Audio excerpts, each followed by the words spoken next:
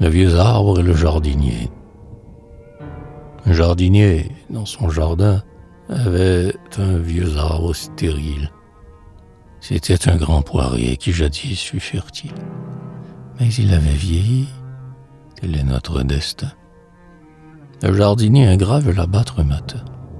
Le voilà qui prend sa cognée.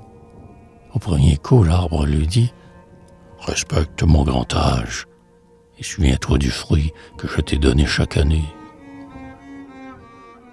La mort va me saisir, je n'ai plus qu'un instant.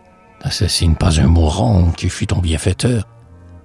Je te coupe avec peine, répond le jardinier, mais j'ai besoin de bois.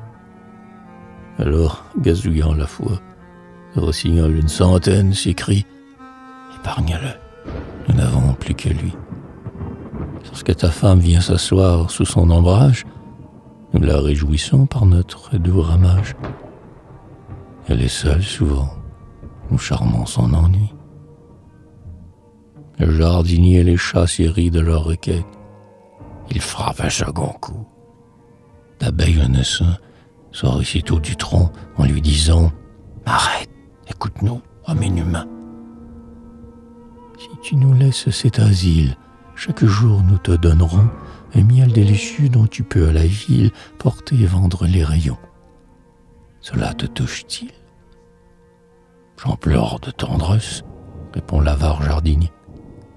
Et que ne dois-je pas ce pauvre poirier qui m'a nourri dans sa jeunesse?